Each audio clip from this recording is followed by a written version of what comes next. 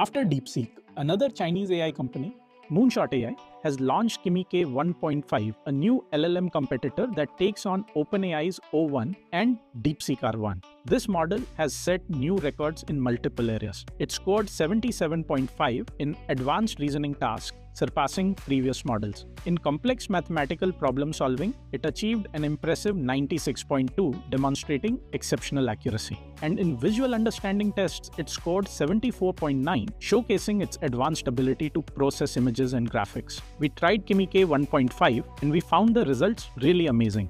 Its image analysis is highly accurate, making it highly effective in understanding and interpreting complex visuals. Its web search capabilities are top notch, delivering precise results. Plus, it allows you to upload several files at once, making it a powerful tool for handling large datasets effortlessly. Will Moonshot AI disrupt the market? Comment down your thoughts on this.